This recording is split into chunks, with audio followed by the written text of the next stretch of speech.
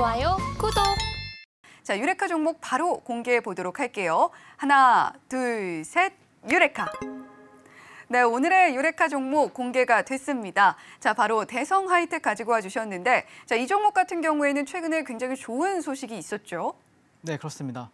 어, 근데 이제 앵커님도 눈치를 채셨겠지만, 어, 저는 만들어진 걸 좋아해요. 그러니까 음식도 만, 제가 만드는 거는 좀 귀찮아하고, 그냥 만들어지면은 맛있게 먹는 스타일? 약간 그런 스타일이라서 대성 하이텍도 전일에 이제 상한가를 갔었죠.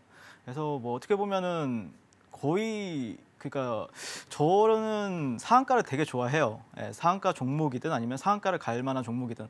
어 그래서 전일 이제 노란톡방에서도 제가 그 대성 하이텍이라는 종목을 9,100원에서 눌림목을 잡아보시면 좋다라고 말씀을 드렸었는데 아, 추천은 못 드렸어요. 왜냐면은 제가 또 그 시간대에 또 녹화 방송이 있어서 추천은 못 드렸지만 어쨌든 그런 관점에서 이 대성 하이텍을 또 오늘 장 초반에도 추천을 드려가지고 뭐 단타 수익 같은 경우에는 약 4% 가량 이렇게 또 냈었고 그래서 이 대성 하이텍은 어, 흐름을 오늘 종가까지 봤는데 나쁘지가 않더라고요. 어, 그래서 이 종목을 어, 한번 유레카 종목으로 또 한번 관심 있게 지켜보자라는 관점에서 가져와 봤고요. 어, 일단 재료가 굉장히 좋다라고 판단을 했어요. 예, 그런 관점에서 오늘 이 종목 이 회사가 어떤 회사인지 먼저 설명을 드리게 될 것 같은데 어, Swiss turn 자동 선반 그리고 compact machining center와 정밀 부품 제조 전문 업체로 알려져 있습니다. Swiss turn 자동 선반 같은 경우에는 이 현대위아에 납품 중에 있고 전기차 산업에 특화된 이 compact machining center 제품을 국내 주요 3 배터리 3사와 또 그 3사의 협력 업체들에 양산해서 공급 중에 있다라고 알려져 있습니다. 어, 예전에 이제 제 상담 시간에도 한번 이 대성 하이텍을 어떻게 보느냐라고 말씀을 이제 얘기가 나왔었는데 그때 당시에 제가 별로 안 좋게 봤었어요. 솔직히 말해서. 그런데 어 어찌됐든 왜냐면은 이 머시닝 센터나 아니면은 자동 선반 같은 경우에는 완벽하게 2차 전지 섹터라고는 볼 수가 없거든요.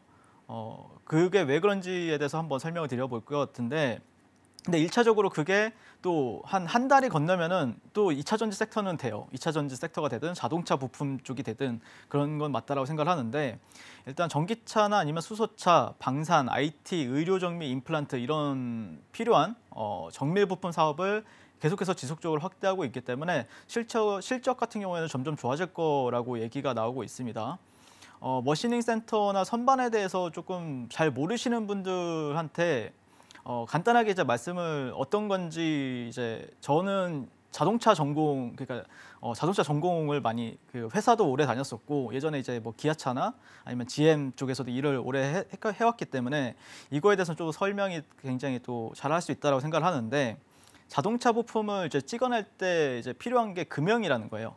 어, 그래서 이 금형을 이제 설계하고 제작하는데 필요한 기계가 이 머시닝 센터나 아니면 선반이거든요. 어, 그러니까 예시를 들어서 붕어빵을 만든다라고 하면은 그 밀가루나 아니면 팥이라는 게 재료잖아요. 그러면은 어, 붕어빵 그 밀가루나 아니면 팥 같은 경우에는 어, 그 자동차 그 부품의 비유를 하면은 철강, 예, 철판의 비유를 하시면 돼요. 아, 걔네들은 철판이구나.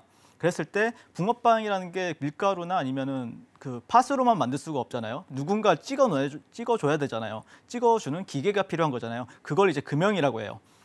그래서 그 자동차 부품을 만들 때도 철판이 있으면은 그, 자, 그 모양이 나오게 찍어주는 걸 이제 금형이라고 하는데 그런 거를 이제 제작하거나 아니면 설계할 때는 무조건 필요한 기술이 이제 어, 이런 머시닝 센터나 아니면 선반 기술이다. 선반 음, 그 장비다라고 보시면 될 것 같고 그런 거에 있어서 굉장히 대성 하이텍이라는 회사가 어, 기술력도 있고 또 이전에는 일본에서 1위 하던 회사로 도 인수를 했었던 이력이 있어요. 그런 관점에서 본다라고 하면은 어, 분명히 또 자동차나 아니면은 2차 전지 그 전기차 배터리 같은 경우에도 결국에는 금형으로 이제 만들어지거든요. 당연히 다. 네, 그렇기 때문에 어, 계속해서 관심 있게 지켜볼 만한 종목은 맞다라는 관점이고 어제 결국에 이 종목을 추천을 드렸던 이유는 음, 굉장히 그 재료가 자극적이고 좋다라고 판단했기 때문에 추천을 도와드리는 거겠죠. 이 전기차 주행 거리를 30% 상승시킬 수 있는 신기술을 통해서 현대차 부품을 개발하고 있다는 소식에 전일에 이제 상가를 갔었습니다.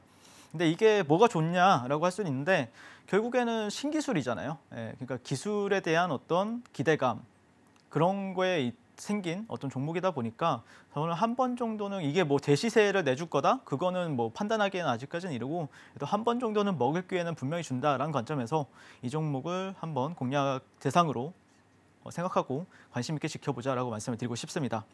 거기다가 이제 전기차의 전기 저항을 감소시켜서 이 모터의 효율을 높여주며 주행 거리가 상승하게 돼서 시장에서는 각광을 받는 기술이라고 얘기가 나오고 있고요.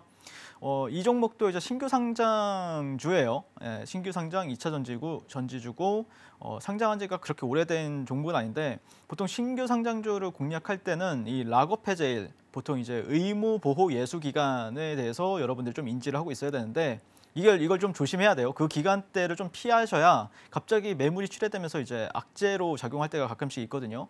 예를 들어서 뭐 SK 바이오팜 같은 경우에는 그 의무 보호 예수 날마다 항상 막 꼬라박고 그랬었어요. 그래서 보통 이 기간이 어, 상장 이후에 3개월 그리고 6개월 그리고 시기 12개월 차에 물량이 풀리게 되는데 3개월 차 물량 같은 경우에는 이제 11월 지난달 11월 22일 날 풀렸었고 이제 6월 6개월 차 물량 같은 경우에는 내년 2월 달에 풀리게 되, 풀리게 되기 때문에 그런 거에 대해서 이제 물량이 쏟아질 어, 어떤 악재는 없다라는 관점에서는 그래도 좀 안정적이다라고 볼 수가 있을 것 같고요.